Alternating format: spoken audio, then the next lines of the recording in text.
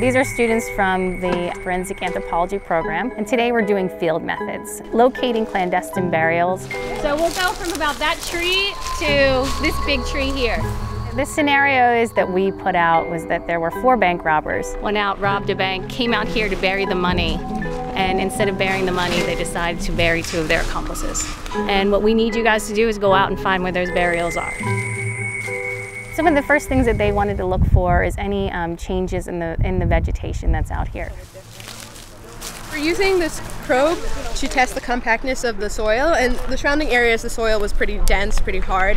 When we got to this spot, the probe kind of sank into the soil, which means that the area's been disturbed recently. It, it makes it a likely spot for burial.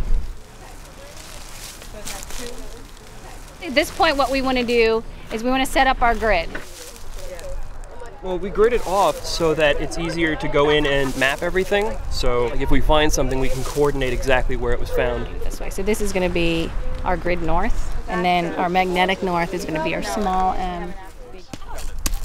Once they located the burials, they started to remove the leaf litter and search through that leaf litter for any evidence that um, might be associated with this crime. And then that's where they want to start their excavation.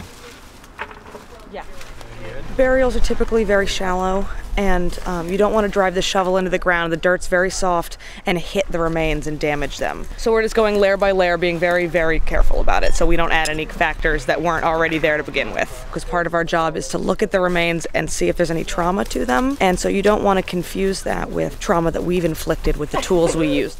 We'll inventory everything that's there so that even after it's out of here, we'll know where it came from, so if someone were to dump a body, it's going to be put in very kind of haphazard. Um, you might have, you know, the arms and legs going different directions. So that orientation of the body is really important when we're trying to figure out the context of how these remains were put in there.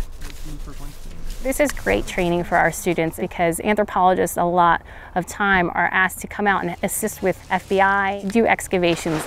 Instead of just learning in the classroom, you know, it makes them understand it a little bit better when they're actually getting in there and doing it.